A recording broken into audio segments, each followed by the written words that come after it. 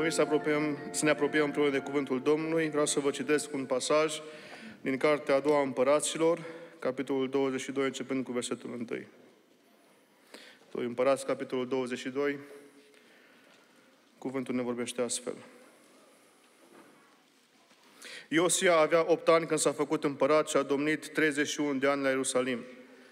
Mama sa se chema Edida, fata lui Adaia din Boțcat. El a făcut ce este bine înaintea Domnului și a umblat în toată calea tatălui său David. Nu s-a bătut de la ea nici la dreapta, nici la stânga. În anul al 18-lea al împăratului Iosia, împăratul a trimis în casa Domnului pe Șafan, logofătul fiului Ațalia, fiului Meșulam. El a zis, suiete la marele preot Hilchia și spune să strângă argintul adus în casa Domnului pe care l-au primit de la popor cei ce păzesc pragul. Să se dea argintul acesta în mâinile meșterilor, să cu lucrările în casa Domnului și să-l dea celor ce lucrează la dregerea stricăciunilor casei Domnului, anume dulgherilor, zidarilor și pietrarilor, pentru cumpărăturile de lemn și de pietre cioplite, trebuitoare pentru dregerea stricăciunilor casei. Dar să nu se ceară socoteală de argintul dat în mâinile lor, că cel lucrează cinstit. Atunci, marele preot Hilchia a zis lui Șafan Logofătul, Am găsit cartea legii în casa Domnului. Și Ilchia a dat cartea lui Șafan și Șafan a citit-o. Apoi logofătul Șafan s-a dus să dea socoteală împăratului și a zis, slujitorii tăi au strâns argintul care se afla în casă și au dat în mâinile meșterilor însărcinați cu facerea lucrării în casa Domnului. Șafan logofătul a mai spus împăratului, preotul Hilchia mi-a dat o carte și Șafan a citit-o înaintea împăratului. Când a auzit împăratul cuvintele din cartea legii, și-a sfârșit hainele. Și împăratul a dat porunca aceasta preotului Hilchia, lui Ahicam, fiul lui Șafan, lui Acbor, fiul lui Mica, lui Șafan, logofătul și lui Asaia, slujitorii împăratului. Duceți-vă și întrebați pe Domnul pentru mine, pentru popor și pentru Iuda, cu privire la cuvintele cărții acesteia care s-a găsit, căci mare este mânia Domnului care s-a prins împotriva noastră, pentru că părinții noștri n-au ascultat de cuvintele cărții acesteia și n-au împlinit tot ce ne este poruncit în ea. Preotul Hilchia, Ahicam, Akbor, Șafan și Asaia s-au dus la prorocița Hulda, nevasta lui Shalum, fiul lui Ticva, fiul lui Harhas, păzitorul veșmintelor. Ea locuia la Ierusalim în cealaltă mahala a cetății.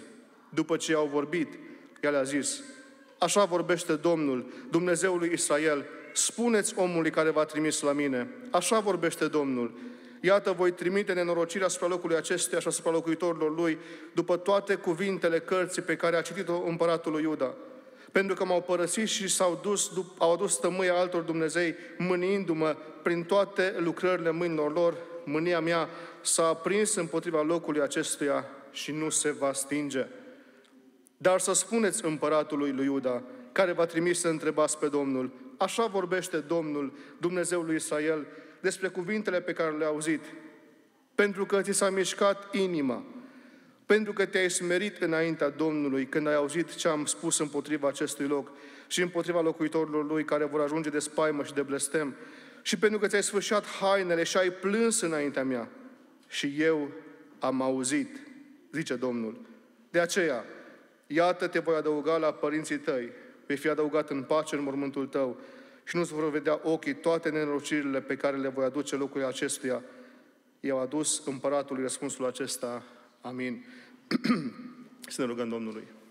Doamne, Părinte Ceresc, mulțumim pentru harul Tău, pentru mila Ta, mulțumim pentru binecuvântările noite, mulțumim, Doamne, pentru modul în care ne porți în credincioșia Ta, Doamne, știind, fiind convinși prin Duhul Sfânt că suntem copiii Tăi. Mulțumim pentru clipele de părtășie frățească și cu Tine în acest loc binecuvântat și mulțumim, Doamne, că ori de câte ori ne strângem la oaltă în numele Domnului Isus Hristos. Ești gata, Doamne, ca să ne vorbești prin cuvântul Tău. De aceea mă rog în aceste momente, când deschidem Scriptura, când vrem să ne lăsăm, Doamne, uh, învățați, hrăniți, cercetați sau mustrați, mă rog, Doamne, să nu fim ascultători uituci, ci să fim oameni care să asculte cu băgare de seamă, oameni care să fie dorni să împlinească în viețile lor cuvântul Tău, Doamne, și mulțumim că acest cuvânt Tu îl însoțești în viețile noastre prin Duhul Tău cel Sfânt. Mă rog, Doamne, să-L faci viu și lucrător pentru fiecare dintre noi, Doamne. Și mulțumim că împreună putem să căutăm călăuzirea Ta, voia Ta, ajutorul Tău și mesajul Tău pentru viețile noastre. În numele Domnului Iisus Hristos să-ți mulțumesc pentru toate lucrurile. Amin. O să ocupați locurile. Știu că uh, probabil toți predicatorii încep când merg într-o biserică musafiri cam la fel. Mă bucur să fiu cu dumneavoastră în această dimineață la, la închinare. Uh, eu chiar mă bucur pentru că deja încep să vă cunosc fețele. Domnul să vă binecuvinteze. Mulțumesc fratului păstor pentru ocazia de a fi din nou împreună cu dumneavoastră. Domnul să-l binecuvinteze. De fratele păstor mă leagă o prietenie veche de uh, 10 ani anul ăsta și îi mulțumesc Domnului pentru aceasta. Primiți salutările Bisericii Golgota din București. Salutul nostru pentru frații noștri, pentru prietenii noștri, se găsește la finalul capitolului 15 din 1 Corinteni. Și vreau să vă las acest cuvânt ca și încurajare pentru dumneavoastră, unde Apostolul Pavel spune, de aceea, prea iubiții mei frați, fiți tari, neclintiți, sporiți totdeauna în lucrul Domnului, că știți că osteneala voastră în Domnul nu este zadarnică. Amin. Cred că avem de multe ori nevoie de încurajări de felul acesta, fie că suntem în România, fie că sunteți în Regatul Unit, uh, descurajarea poate să intervină în viețile noastre. Când vedem că oamenii se pocăiesc mai greu, când vedem că Evanghelia parcă nu mai are impactul pe care noi l-am, l-am dorit sau l-am așteptat în viețile oamenilor, și de multe ori poate ajungem în situația de întrebăm ce rost mai are. Dar cuvântul ne spune că osteneala noastră în Domnul nu este zadarnică. Slăvit să fie Domnul, pentru că El știe ce ne spune, El știe ce ne încurajează ca să slujim și uh, Domnul să vă dea putere să păstrați mărturia și în locul acesta de nume unde Dumnezeu v-a adus pe fiecare dintre dumneavoastră. Amin. Pentru că timpul înaintat, uh, încep printr-o întrebare uh, și presupune din partea dumneavoastră doar sinceritate. Câți de dumneavoastră, la un moment dat, sau poate, nu știu, mai de mult, mai recent, uh, într-o situație de cumpănă, într-o situație delicată sau în care nu știa ce să face, să spus, Doamne, am nevoie de un răspuns, deschid Biblia la întâmplare, să văd ce îmi spune Domnul. Câți ați făcut asta? Hai să fiu sincer. Hai, dar mulți suntem. Domnul să aibă mine, nu foarte bine, nu să binecuvinteze. O poveste adevărată din istorie, și nu o să fac niciun fel de reclamă Rusiei sau ceva, dar implică Rusia povestea asta. În anul 1812, împăratul Franței, Napoleon, s-a hotărât să restructureze harta Europei și a început să cucerească țară după țară. Și a vrut să cucerească Rusia țaristă. Pentru asta a pregătit 600 de mii de oameni, o armată impresionantă. Stătea și mă gândeam cât de mare armata asta, câte, câte orașe, de exemplu, eu vin din Arad de loc. Aradul nu știu cât să aibă acum, 120 de mii de locuitori probabil. Deci vreo 5, de vreo 5 ori populația Aradului, care mărșăluiau toți prin Europa, 600 de mii de oameni. De aceea i-au spus la Grand Armee, mare armată, formidabilă armată. Și uh, vreau să ajungă să cucerească Rusia, Moscova. Uh, rușii dau o bătălie cu francezii la Borodino și bătălia asta a intrat în istoria uh, Rusiei ca fiind bătălia decisivă pentru ei ca și, ca și popor, deși bătălia de la Borodino nu s-a soldat cu o victorie. N-au câștigat nici rușii, nici francezii. Uh, rușii s-au retras, dar armata lui Napoleon a fost atât de, de, de răvășită încât era clar că o să aibă probleme. Și după bătălia aceasta decisivă, generalii armatei ruse îl sfătuiesc pe țarul Alexandru I să părăsească Moscova, capitala. Să abandoneze capitala în mâinile francezilor și să se retragă și mai mult înspre est, sperând că vor reveni cu armată proaspătă și cu forțe proaspete. În noaptea în care împăratul Alexandru I, țarul Alexandru I a trebuit să ia decizia asta, cei apropiați din familie, martorii care l-au văzut, s-a frământat toată noaptea, singur în birou, și dimineața era alb, albise peste noapte. De la stres, de la tensiune, de la, de la toată presiunea respectivă. Și în tensiunea aceea, că nu știa ce să facă, dacă să abandoneze sau nu capitala, un, un apropiat de lui, un prieten, un, un ministru, un conte, i-a spus, ia Biblia, deschid-o, vezi ce vorbește Dumnezeu. Și împăratul a luat Biblia, a lăsat-o să cadă la pământ, Biblia s-a deschis, S-a deschis la Psalmul 90. Împăratul s-a plecat, a luat-o și a citit. Doamne, Tu ai fost locul nostru de adăpost din neam în neam. Și cuvântul acesta din Biblie pentru țarul Alexandru I a fost un cuvânt de asigurare din partea lui Dumnezeu, că la final lucrurile o să fie bine. Și într-adevăr, uh, Napoleon a fost, a fost înfrânt și nu și-a mai revenit niciodată după acea, după acea situație, uh, campania din Rusia. Nu, nu vreau să fac niciun fel de uh, reclamă nici rușilor, nici francezilor în dimineața asta. Vreau să vă arăt o situație reală pe care și noi am trăit-o fiecare într-un fel sau altul. Când ne-am apropiat de Cuvântul lui Dumnezeu cu acea certitudine, cu acea încredere, când în situațiile cele mai delicate, în situațiile noastre limită, în, în puncte în care suntem poate disperați și căutăm să vedem ce ne spune Dumnezeu, deschidem Biblia în întâmplare și sperăm că Dumnezeu să ne spună ceva. Asta înseamnă că noi credem că Biblia e Cuvântul lui Dumnezeu, că Biblia are autoritate în viețile noastre, că Biblia este adevărată, veridică și că luăm Biblia în serios. Și pasajul pe care am citit în dimineața aceasta ne arată tocmai experiența aceasta a unui împărat care se vede pus pe tronul unei țări cu oameni care ajung să fie deosebit de păcătoși, împărat la 8 ani. Copil la 8 ani împărat peste un, peste un popor păcătos răzvrătit de căzut. Ne aflăm la 300 de ani de la moartea lui Solomon, marele împărat al lui Israel. Ne aflăm la 60 de ani de la moartea împăratului Ezechia, cel care a rămas în istoria Scripturilor ca un împărat care a făcut o mare reformă spirituală, o mare trezire spirituală în poporul lui Iuda. Au trecut 60 de ani. O generație jumate. A uitat tot. A uitat reformele lui Ezechia. A uitat de Dumnezeu. Dacă citiți în capitolul 23 din 2 împărați, următorul capitol o să vă îngroziți, vi se, pare, vi se face, cum spune românul, vi se face părul măciucă, când o să vedeți la ce idolatrie, la ce depravare, la ce păcate s-au dedat în toată țara, în Ierusalim și chiar în templul lui Dumnezeu. De ce? Pentru că au uitat Scriptura. Au uitat de Domnul, au uitat Scriptura, au uitat de reformele lui Ezechia și au devenit mai rău ca și popoarele păgâne din jurul lor despre care Dumnezeu le-a spus, nu aveți treabă cu ceilalți, aveți treabă cu lumea din jurul vostru. Pentru că oamenii aceștia n-au înțeles importanța a ceea ce spune Dumnezeu în Scriptură. Și e foarte interesant, dacă veți citi acasă și în Cartea Cronicilor, să vedeți uh, pe scurt ceea ce spune Biblia despre acest împărat copil, despre Iosia, o să vedeți că el nu a avut un mentor. Da, Solomon, când a fost copil, a avut profeți care l-au mentorat, care l-au învățat cuvântul Domnului. A avut pe profetul Nathan, pe Gad, care a fost acolo să-l crească în ce privește Scriptura și cunoașterea cuvântului Dumnezeu.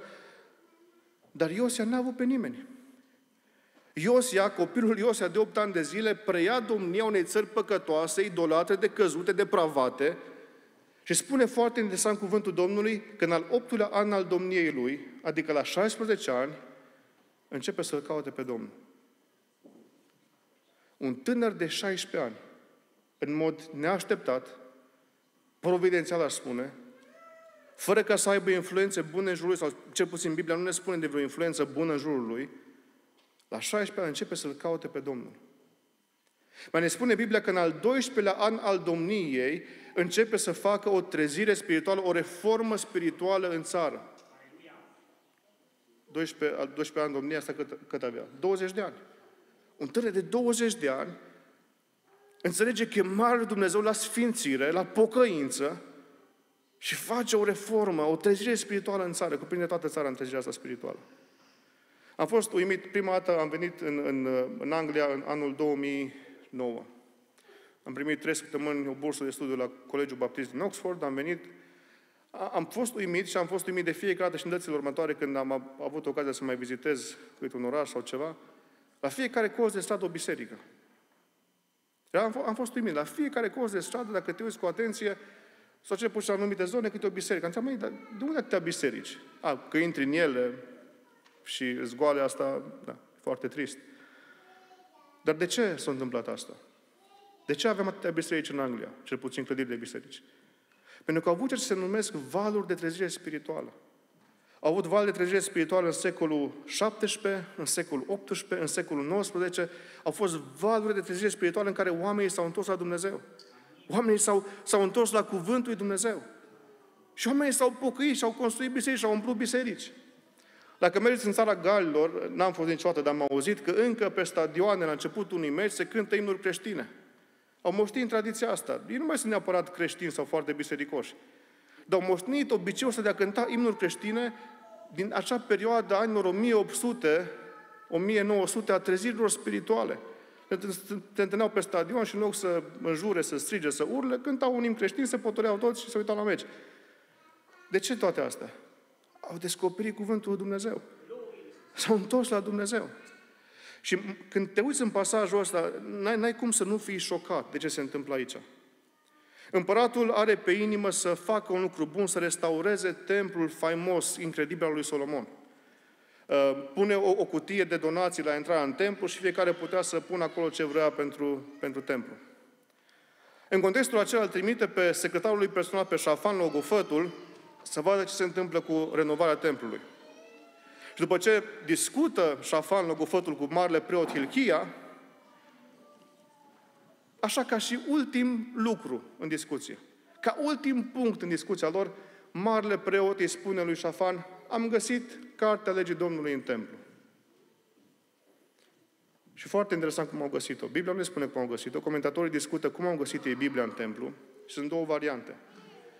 Oricineva a pus Biblia, sulul cărților lui Moise în cutia de colectă la intrare, ori au găsit-o în zidul templului, pentru că vremea respectivă, când se construia o clădire impresionantă, se punea de altfel, cum se pun și în zilele noastre, un fel de uh, lucruri de aducere aminte pentru viitor. Cine le găsește peste 102 de ani, să fie interesant.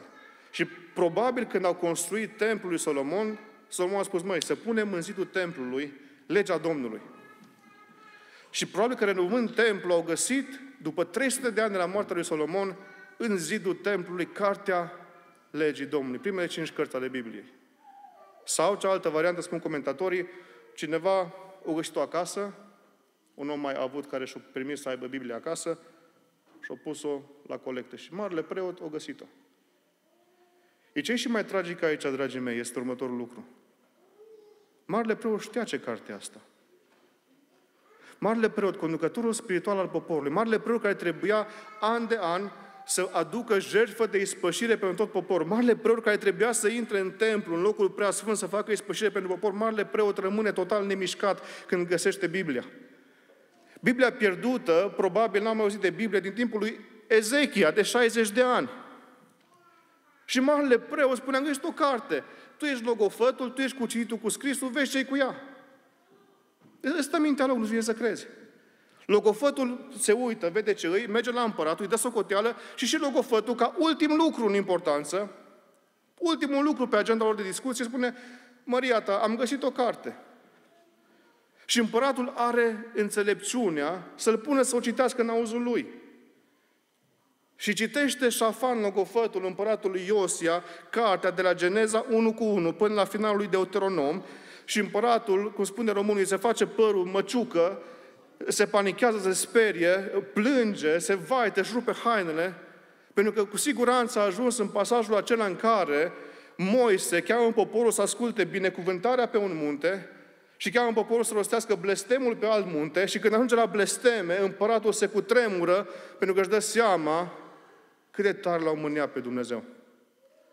Și foarte interesant cum se exprimă el. Spune, întrebați pe Domnul pentru mine, pentru popor, pentru Iuda, despre cuvintele cărții acestea care s-a găsit, căci mare este mânia Domnului care s-a prins împotriva noastră, pentru că părinții noștri n-au ascultat de cuvintele cărții acesteia și n-au împlinit tot ce este poruncit în ea.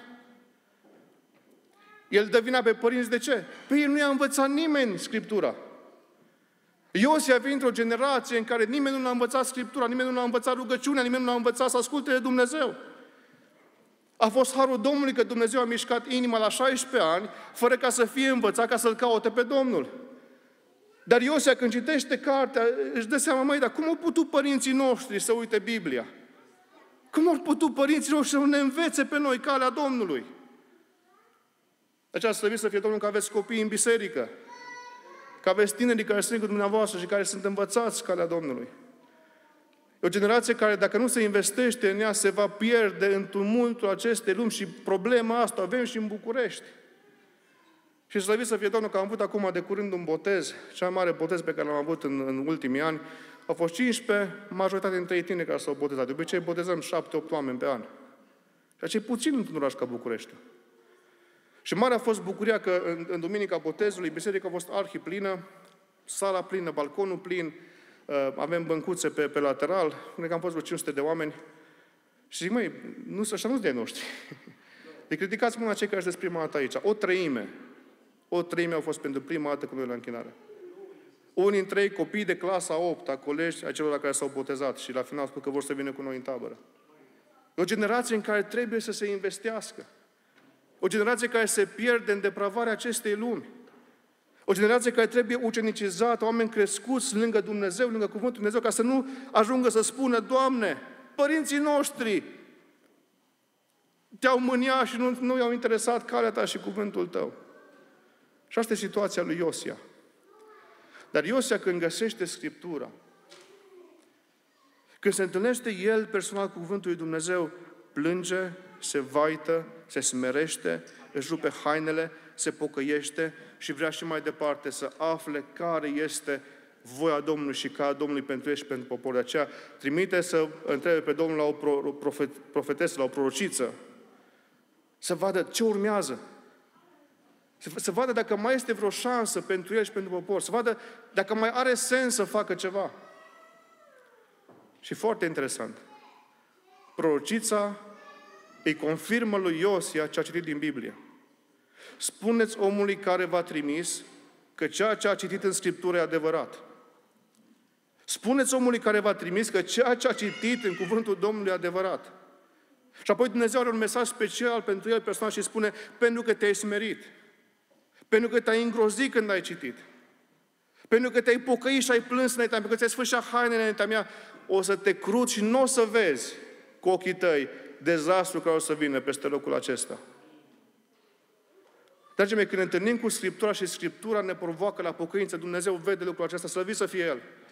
Când cineva se întâlnește cu mesajul Evangheliei și înțelege că l-a mânia pe Dumnezeu și înțelege dreptatea și dragostea lui Dumnezeu și ceea ce a făcut Hristos pe cruce și când își merește inima și, și viața lui înțelege că are nevoie de schimbare, transformare, Dumnezeu vede lucrul acesta. Și Dumnezeu primește pocăința și smerirea noastră. Să vii să fie pentru aceasta. Pentru că altfel nu am avea nici o șansă, nici unul dintre noi. Iosia, uh, un, un copil, un tânăr, apoi un bărbat la 36 de ani, pas cu pas, este gata ca să facă voia Domnului. Și este gata ca să-i conducă pe alții pe calea Domnului. De ce? Pentru că Scriptura a avut efect și impact în viața lui. De aceea vreau să mă apropie către partea practică a mesajului din dimineața aceasta și o să vedem ce putem învăța din acest episod și din ceea ce a trăit Iosia. Ce putem să învățăm din experiența lui și ce putem să învățăm despre cuvântul Domnului pentru viețile noastre. Și în primul rând vreau să vă spun, dragii mei, că trebuie să acordăm importanță Bibliei. Să acordăm importanță Scripturii Cuvântului Dumnezeu. O condiție esențială pentru noi ca și biserică, pentru cei care se botează, este să citească până la botez măcar Noul Testament. A spus, până la botez trebuie să citiți Noul Testament. De ce? A spus, nu vreau să vă faceți o imagine greșită despre Dumnezeu în mintea voastră. Nu vreau să-L cunoașteți pe Dumnezeu din ceea ce vă spune predicatorul sau nu știu cine din familie. Trebuie voi să-L cunoașteți pe Dumnezeu în termenul lui Dumnezeu și îl cunoaștem pe Dumnezeu din Scriptură. Și dacă Domnul Iisus Hristos a acordat importanță Bibliei, trebuie să acordăm și noi. Domnul Iisus, în mod foarte precis, spune în modul următor. Cuvântul Domnului este atât de exact, atât de precis, este atât de adevărat încât nici cel mai mic semn din Scriptură nu este lipsit de importanță. Cel mai mic semn în alfabetul ebraic era litera I, iota. Și spune Domnul Iisus, nici o, nici o iotă, nici măcar o literă I din Scriptură nu o să cadă la pământ, pentru că fiecare semn, fiecare cuvânt, fiecare lucru din Scriptură are autoritate, credibilitate și impact în viețile oamenilor. Slăvit să fie Domnul. Și dacă Hristos vedea Scriptura la o asemenea înălțime de autoritate din partea lui Dumnezeu, la fel trebuie să vedem și noi Scriptura ca Domnul Iisus Hristos. De aceea, dragul meu, acordă importanță Bibliei. Dacă nu acordăm importanță Bibliei, riscăm să trăim o viață păcătoasă, pentru că Biblia ne avertizează când trăim o viață păcătoasă. Dacă nu acordăm o importanță Bibliei, uh, riscăm să nu fim avertizați de Dumnezeu, riscăm să nu fim cercetați de Dumnezeu. Dacă nu acordăm importanță Bibliei, riscăm să ne facem o imagine falsă despre Dumnezeu în mintea noastră și asta este idolatrie. Pentru că în Scriptură ne întâlnim cu Dumnezeu. În Scriptură ne întâlnim cu voia Dumnezeu pentru viața noastră. De aceea, dragul meu, te invit să acordăm împreună importanță Bibliei. Al doilea lucru, fii deschis la mesajul Bibliei.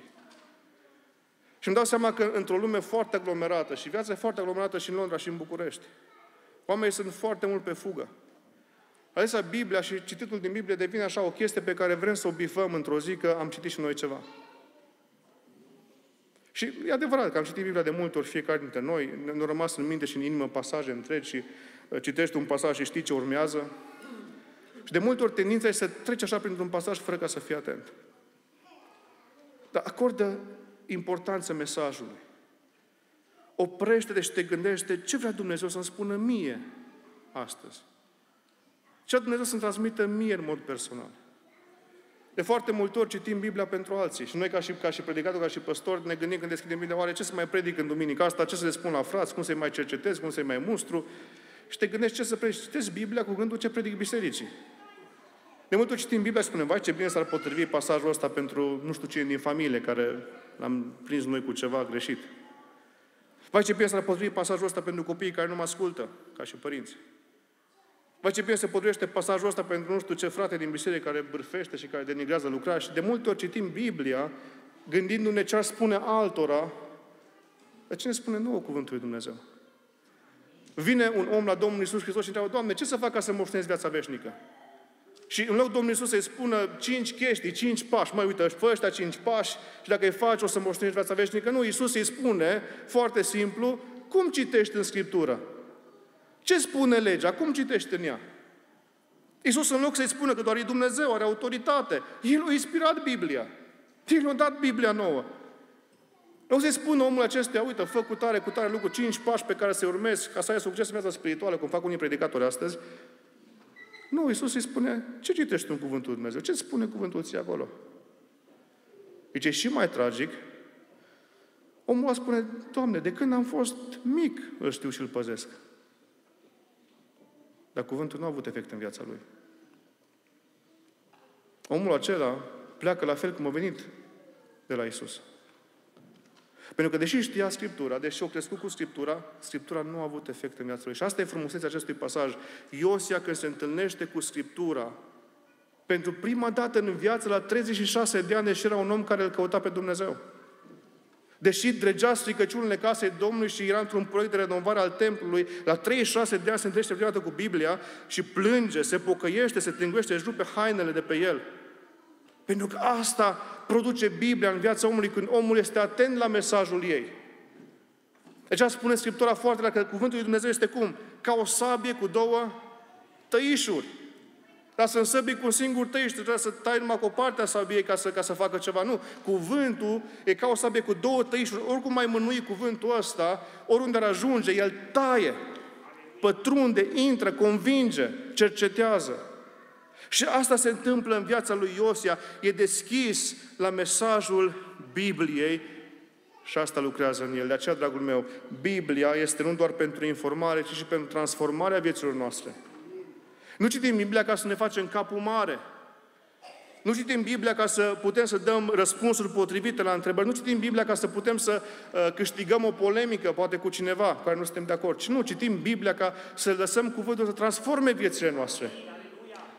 Domnul Iisus Hristos se uită la cei din vremea Lui și le spune, nu vreți să veniți la mine ca să aveți viață. Deși mă ascultați predicile, deși știți învățătura mea, nu vreți să veniți la mine ca să aveți viață. Cu alte cuvinte, îi ascultau degeaba. Cuvântul, mesajul nu ajungea la ei. De aceea, dragul meu, acordă importanță Bibliei. Și fii atent, fii deschis la mesajul Bibliei. Și ultimul lucru, acționează, trăiește în baza a ceea ce spune Cuvântul Lui Dumnezeu. Amin. Acționează, trăiește în baza ceea ce spune Cuvântul lui Dumnezeu. Și aici ai partea dificilă. De foarte multe ori când oamenii se pocăiesc, cumva le spunem o, o mică minciună și spunem, mai vină la Isus, că o să ai o viață perfectă, o să fie foarte frumos, foarte bine. Dar viața cu Dumnezeu e o viață frumoasă. Dar nu lipsă de greutăți, nu lipsă de încercări, de neajunsuri. Nu, de multe ori lucrurile sunt mai dificile după ce te pocăiești decât înainte. Și de foarte multe ori oamenii, deși vor să facă voia Domnului, deși vor să asculte de Dumnezeu, aleg scurtăturile. Și scurtăturile sunt întotdeauna foarte periculoase. Dacă alegem scurtăturile, înseamnă că ceva s-a întâmplat în modul în care noi privim Cuvântul lui Dumnezeu. Dacă alegem scurtăturile și varianta mai ușoară, înseamnă că poate nu acordăm destulă importanță cuvântului, poate că nu acordăm destulă credibilitate cuvântului, pentru că de multe ori să împlinești cuvântul Domnului e dificil. Au avut tineri de-a lungul timpului care veneau să mă întrebe, oare care e voia Domnului pentru mine? Dar el știa care e voia Domnului pentru el. El știa că Domnul nu vrea ca să meargă în Germania să trăiască în concubinaj cu nu știu cine, numai el știe cu cine. Dar venea și întreba, oare care e voia Domnului pentru mine? Zic, mai tu ce citești în Biblie? nu e Biblia destul de clară ca să spună ce să faci? Și foarte mulți după aceea vin și vor să fie reparați, vor să fie pansați, vor să îi ajuți ca să iasă din situație și de multe ori foarte greu să mai repară ceva. Pentru că scurtăturile sunt foarte periculoase. De aceea ă, acționează în baza ceea ce spune Biblia. Trăiește ceea ce spune Cuvântul lui Dumnezeu. Vezi ce spune Cuvântul ție astăzi.